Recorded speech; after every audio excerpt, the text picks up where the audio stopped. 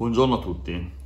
Ho pensato lungamente se registrare questo video o meno, ma siccome vedo che la situazione non sta affatto migliorando, anzi tutt'altro, ho deciso di farlo. In questi mesi, quando è iniziata la pandemia legata al Covid-19, alias coronavirus, mi sono documentato tantissimo Guardate, ci tengo a sottolineare una cosa, non ho guardato un telegiornale, non ho guardato nessuna trasmissione televisiva e non sono certo stato ad ascoltare le panzane che sono state raccontate a destra e a sinistra. Come mi sono documentato? Vi spiego molto semplicemente. Mi sono documentato leggendo tutti gli articoli pubblicati su Scientific American, di cui c'è l'edizione italiana reperibile se volete, che si chiama Le Scienze, se non avete il cartaceo potete recuperarlo in digitale e vi consiglio di farlo se volete essere veramente documentati, vari articoli sulla National Geographic Society e non ultimo il, il, il numero che è uscito questo mese proprio che è dedicato specialmente, trovate il video sul canale, al Covid-19. Ma non sono contento di questo, non ero contento di questo. E allora cosa ho fatto?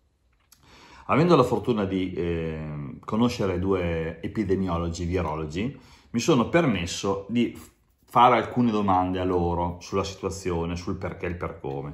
Perché dovete sapere che quando tutto sembrava tornato alla normalità, hanno aperto i bagni al mare, hanno aperto le discoteche, le palestre, hanno riaperto i bar, hanno fatto gli assembramenti, c'era la movida, nei parchi la gente era senza mascherina ed erano uno sopra l'altro.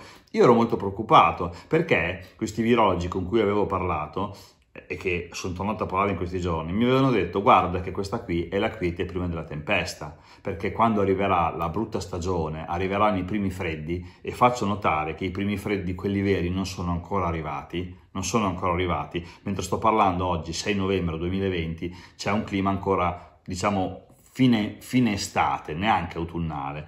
Per cui, per cui, quando mi hanno detto non abbassare la guardia, non abbassare la guardia. Io mi sono fidato, tant'è, tant'è che ho promulgato questa mia, diciamo, fra virgolette, cautela a mio padre, a mio fratello, ai miei suoceri, a mio cognato, cioè a tutte le persone, ai miei amici, a tutte le persone a cui io voglio bene.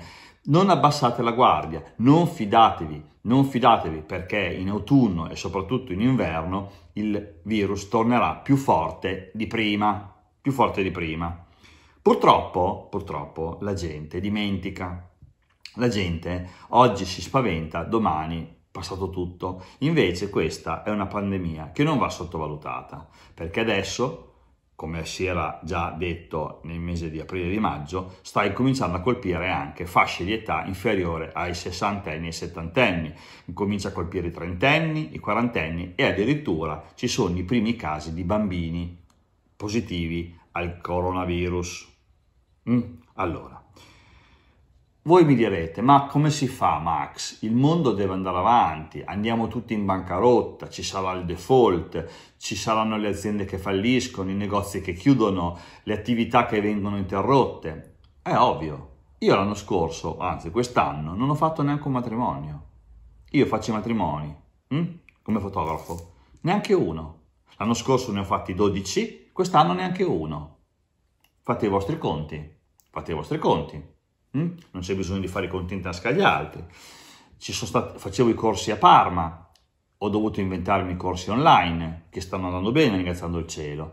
Dovevo fare una mostra in un luogo molto bello di Parma, non l'ho potuta fare, l'ho dovuta rimandare. L'avevo rimandata a novembre, ma di fatto non verrà fatta neanche a novembre.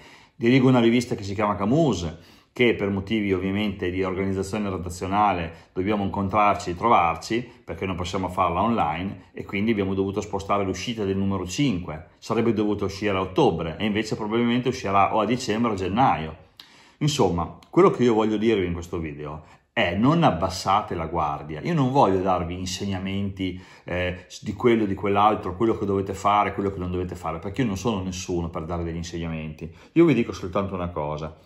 Evitate di andare nei luoghi affollati, evitate gli autobus, evitate mm, le cresime, le comunioni, a messa, guardatevi la messa del Papa in televisione, cercate di evitare gli autobus, ehm, and- non andate, nel, nel, nel, se andate al supermercato tenete la distanza, andateci solo se avete bisogno, se andate a fare la spesa al panificio mi raccomando aspettate che è il vostro turno, se fate la coda all'USL o all'ASL che dir si voglia o dove dovete andare rispettate le norme sanitarie, mettetevi la mascherina, dà fastidio anche a me, io non la sopporto, quando esco con il cane me la abbasso perché sono da solo, ma se mi imbatto in una persona me la alzo, me la metto, rispetto mio ma soprattutto rispetto degli altri, perché signori il covid, il covid non guarda in faccia a nessuno, prende tutti, ma il problema non è tanto che il covid magari vi possa provocare una cosa brutta, perché probabilmente un giovane sano non morirà mai di covid, fortunatamente, fortunatamente ma magari voi avete un nonno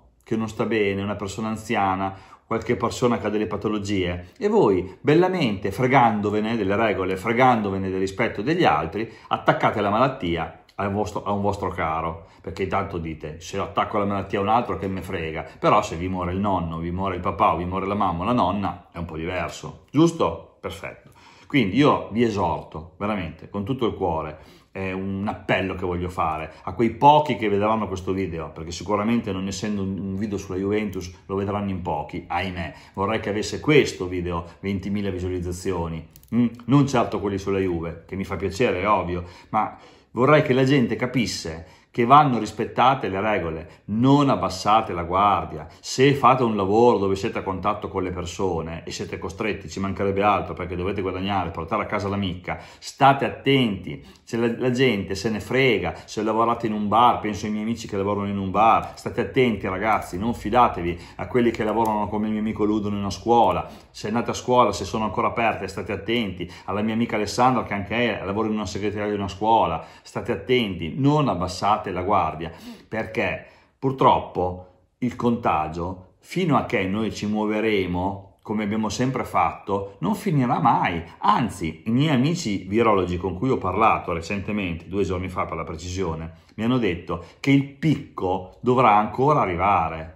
Se il governo, con tutti i difetti che può avere, con tutte le cose che non vi piacciono, perché anch'io non è che amo molto i governi degli ultimi anni dell'Italia, però se il governo sta monitorando settimana per settimana le famosissime zone, no? la verde, la gialla e la rossa, che sembra come dice il mio amico Giulio un risico, no? il verde può attaccare il giallo ma il rosso non può attaccare il giallo, cioè robe di questo genere. Ma se lo sta facendo, a parte le battute, lo sta facendo perché qualcosa sta accadendo, c'è qualcosa di vero. Non potete negare, non potete negare che ci sia qualcosa di vero, perché io conosco personalmente persone che hanno il coronavirus l'hanno passato, stanno guarendo, ma le riconosco personalmente, sono positive. Io sono convinto che se ognuno di noi facesse il tampone, almeno, almeno il 50% risulterebbe positivo, almeno almeno il 50%, ne sono convintissimo, ne sono convintissimo, perché eh, chi è asintomatico ovviamente, guardate i giocatori di calcio, che tantissimi sono positivi, ma stanno benissimo, non hanno neanche una linea di febbre, quindi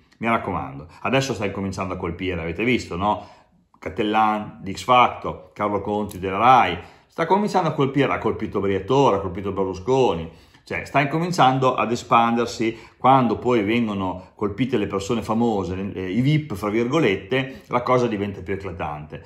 Noi dei VIP ce ne dobbiamo sbattere, ce ne dobbiamo fregare. Noi dobbiamo pensare alla nostra salute, alla salute dei nostri cari e al benessere della nostra vita. Per cui mi raccomando, signori, non sottovalutatelo. Questo è il messaggio che vi mando. Non vi dico di fare o non fare, non sottovalutate il Covid-19, perché ricordatevi che quando si, si sfida una malattia, e purtroppo il cancro ne è l'esempio, la malattia non perde mai. A perdere siamo sempre noi. Ciao.